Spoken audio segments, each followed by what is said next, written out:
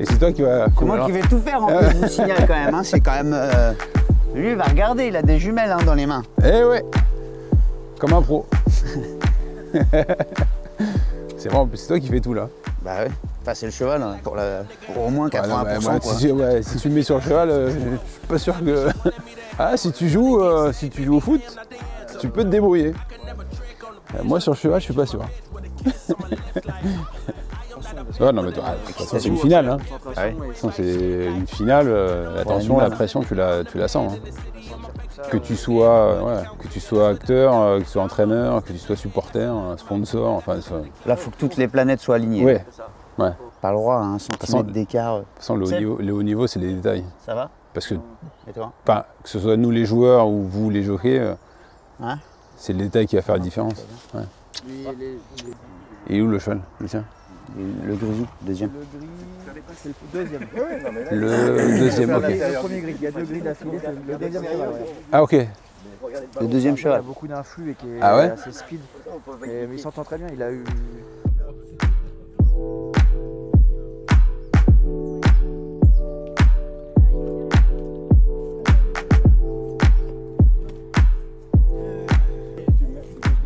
à 1400 mètres, vous partez euh, côté du, après, 200 mètres après le coin du grillage, tu vas voir. le- Ouais. Et puis on part régule, euh, prends ton temps, tu viens à côté de lui, euh, il bosse un peu plus sérieux et on fera un peu plus léger la semaine prochaine. Ça va. On connaît la bête. Ouais. fais-nous rêver.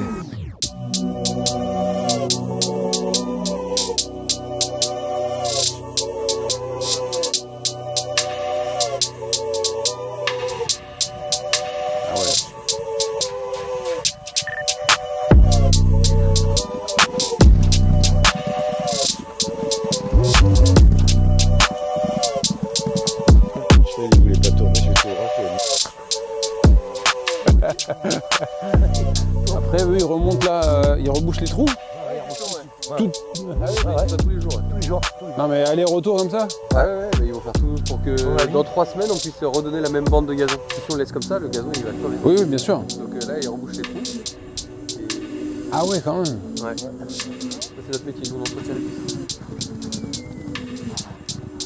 Euh, ouais, je suis assez impressionné. Ouais. Je m'attendais pas à, à ça parce que, euh, en fait, c'est comme pour tous les sports. Je crois quand euh, il y a une différence à- d'être à la télé et d'être euh, ici euh, en vrai, parce que euh, surtout par rapport à la vitesse, vitesse, l'élégance euh, et cette capacité, ouais, d'aller euh, vite et de répondre aux ordres du, euh, euh, du jockey. Donc, euh, ouais, c'est euh, assez impressionnant, vraiment, ouais. On l'a, ouais, bah, c'est un petit peu comme nous, c'est-à-dire qu'il faut avoir un, certain feeling avec le ballon. Euh, le jockey, c'est avec euh, le cheval. Il faut, ouais, il faut le, comprendre, il faut l'analyser. C'est pas, pas facile.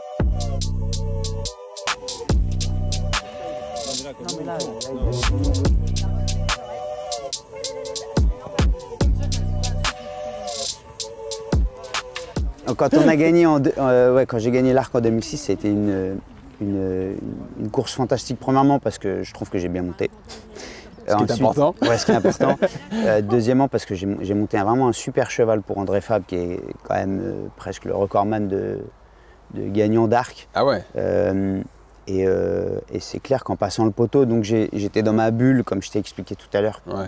tout au long du parcours, en, en- en- en m'occupant plus de mon animal que, que tout ce qu'il y avait autour. Et finalement, quand j'ai passé le poteau, genre je me souvenais plus de rien, comme si... euh, Trop noir. Ouais, trop noir, vraiment. Complet, et ouais. je, je pense que de- bah, les autres courses, ça pose pas de problème, mais celle-là en particulier, je... Ouais, c'est la finale de la Coupe du Monde. Ouais, vraiment, c'était une finale de Coupe du Monde ou. Ligue des Champions. Et je, voilà, euh, quand ils sont venus me dire euh, bravo, machin, après le poteau, je sais même plus qui était qui. Je, ah, tu vois, la gorge sèche, tu. ah, non, franchement, c'était un, c'est un moment inoubliable. Et je, je pense que comparativement parlant avec euh, les finales de Coupe du Monde, enfin, je, Ouais, cette adrénaline, il y a un truc, chose, ouais. il y a un truc qui. qui, je sais pas, Nico, quand tu as gagné le groupe 1. euh, Ouais, bah moi c'est surtout de- le moment où on réalise en fait. C'est-à-dire qu'il se passe quelque chose, ok, on, sait qu'on a gagné, Ouais. mais réaliser tout ce que ça crée autour en fait. Ouais. C'était un peu pareil. euh, Oui, bien sûr. après de voir tout ce public, tout ce que ça a fédéré en Puis fait. surtout pour ton équipe. Ouais. c'est Ton équipe qui est autour de toi, comment vous avez amené les- la victoire, ça en fait. qui est réaliser bien. qu'on est- qu'on a, Ah ouais. qu'on On a a fait l'exploit. quoi, Et l'exploit. est réalisé. et c'est l'après, moi, je trouve. euh, qui- Mais tu faisais partie des favoris Vous- Non, enfin, vous tout, faisiez non. partie Bah, des favoris ou pas lui, euh, Dans l'arc, non, j'étais à 25 contre 1, je crois. Ah ouais. Non, non, pas dans l'arc, et nous, euh, Non, non, je crois et pas. toi, non pareil. Non, non, il y avait des Anglais quasiment dans la Même si, même si nous, on sait qu'on a une chance, Oui, les turfis sont pas censés savoir non plus. Donc nous, on, nous, on court pour, euh, peu importe la cote, euh, on court pour gagner. Donc, euh, Oui, On non, se voyait une chance. on se voyait une chance. courir. ouais, ouais.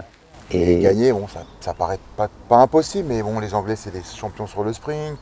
Ils sont quand même 8 dans la course avec des, des vraies et chances. puis il y a plein de paramètres. plein de Euh, paramètres. euh, faut, faut que toutes les planètes soient alignées, comme euh, je avant t'ai le dit tout poteau. à l'heure. euh, Avant le on est poteau, second. on est second. Après le poteau, on est second. Et sur le poteau, on a gagné. donc euh, au balancier, donc on a eu un peu de chance. Quoi. Du coup, Robert, maintenant que tu as vu l'entraînement, Ouais. est-ce que tu vas te sentir un peu plus impliqué euh, dans 15 jours, voir ces chevaux-là au moins euh, courir, euh, les suivre et... Bah, honnêtement, ouais.